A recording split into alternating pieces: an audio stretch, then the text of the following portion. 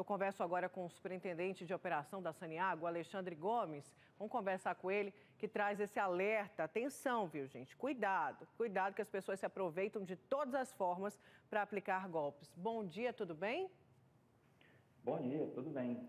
Agora, explica para a gente, é, superintendente, como que a população pode identificar é, quem é o funcionário realmente e quem é o golpista? Porque a gente viu, pelo menos ali nas imagens, uniformizado, carro plotado, com a logo da empresa, eles estão aí, né, fazendo do crime realmente um negócio.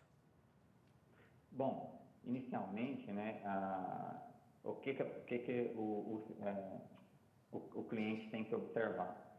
Bom, primeiramente, verificar se o, o funcionário porta o crachá, está com o uniforme oficial da Saneago, e ele também está andando num carro né, é, logomarca da, da companhia. É, é, outra coisa é o seguinte, que é, todo, a maioria dos serviços que a gente faz é no hidrômetro, é ali na parte externa da, da, da casa do cliente, né? com raras exceções, com exceção de dois serviços apenas que a gente adentra o imóvel para verificar a qualidade da água e quando tem fonte alternativa ou quando é, há uma suspeita de irregularidade. Né? Tirando esses dois serviços, todos os outros serviços são feitos na parte externa da residência. Né? E mesmo para adentrar, adentrar na, na, residência do cliente, nosso funcionário ele solicita autorização, ele não entra sem autorização. Então, são todos esses detalhes que têm que ser observados. E qualquer suspeita, não deixe, não, é, não deixe o funcionário entrar e entre em contato né, em, em qualquer dos telefones que a Saniago tem para atender o cliente, né? Tá, aparece aí no, no vídeo para vocês. Como que são esses relatos dos clientes que acabam caindo num golpe do falso funcionário? O que, que eles falam? Que esse, que esse falso funcionário chega dizendo que precisa fazer um serviço dentro da residência, na hora que o cliente abre a porta aí, ele acaba roubando? Seria dessa forma?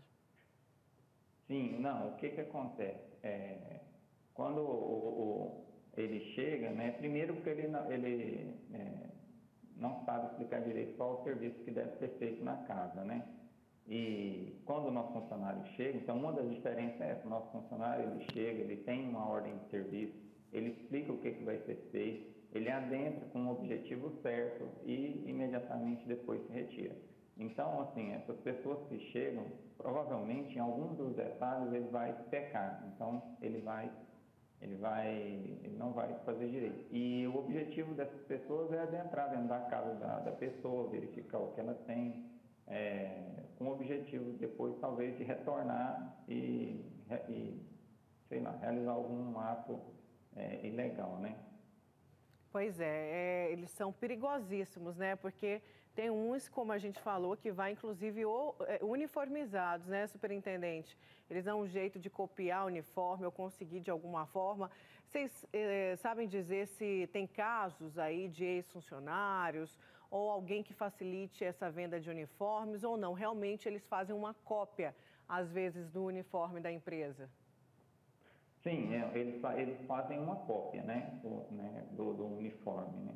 Então, é, esse é o objetivo deles. Mas, é, é, então, qualquer detalhe que for percebido diferente, né, não deixa de entrar na sua residência e entre em contato com a Saneago. E a gente vai saber informar se realmente houve uma ordem de serviço para aquele endereço. Tá? E, e às vezes pedir o é, um nome. Que, a, às vezes pedir o um nome também, né? em primeiro lugar. Aham. Tá certo, superintendente. Obrigada, viu, pelas suas informações aí, pela sua explicação. E às vezes pedir o nome também desse né, falso funcionário, ligar lá na empresa e saber se ele está registrado ou não. Obrigada mais uma vez, viu? Pelas explicações, Sim. o telefone para denúncias aí na sua tela é o 0800 645 0115. Tem também o WhatsApp aí, gente, é o 62 3269 9115.